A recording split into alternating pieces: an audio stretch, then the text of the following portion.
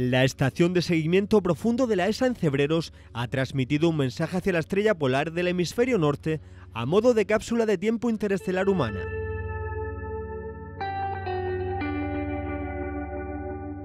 La iniciativa Una respuesta simple a un mensaje elemental consiste en un mensaje de radio interestelar enviado en un periodo teóricamente conocido como la década crítica, un punto crucial en la historia de nuestra civilización en el que se presentan decisiones ecológicas que inherentemente podrían conducir a futuras generaciones hacia situaciones adversas. De este modo, el mensaje, enviado este 10 de octubre, incluye opiniones recibidas por la iniciativa desde todo el mundo sobre cómo nuestras interacciones medioambientales hoy en día condicionarán el aspecto del mundo futuro.